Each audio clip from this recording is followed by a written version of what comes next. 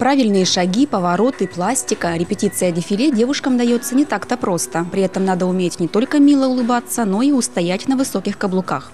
Но этим красавицам уже ничего не страшно. Они прошли жесткий отбор и стали самыми лучшими для участия в конкурсе «Новодвинская краса». 10 очаровательных девушек будут участвовать в этом конкурсе. Критерии отбора, как в любом конкурсе, это, конечно, в первую очередь внешние данные, э, определенный рост, э, размеры, скажем так.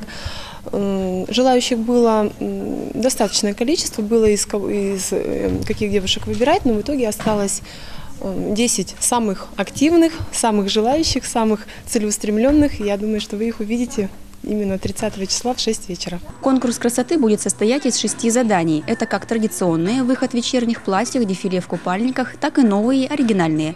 Организаторы решили сделать конкурс в этом году намного зрелищнее и интереснее. Участниц ждет литературная гостиная, где девушки будут читать стихи, арктический флешмоб и пижамная вечеринка. Сейчас красавицами занимаются профессиональные хореографы и режиссеры. Открыли плечо. Раз, два, три, четыре, все по восьмеркам, семь, восемь. Возраст участниц от 17 до 25 лет. Среди них студентки, работники торговли, медицины, культуры, шоу-бизнеса. Независимо от профессии, эти девушки все любят сцену. Кому-то хорошо держаться на ней не составляет труда и вовсе. Я привыкла просто работать на сцене, поэтому для меня особого труда это не составляет. Выйти на публику, что-то сказать, донести до зрителей свой позитивный заряд, свою энергию.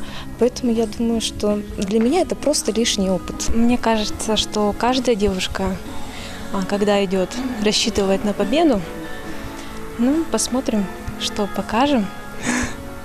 Будем надеяться, конечно, на лучшее. На каждом этапе участниц будет оценивать строгое жюри. Впервые в состав его войдет директор конкурса «Мисс Архангельск» Сергей Пономарев.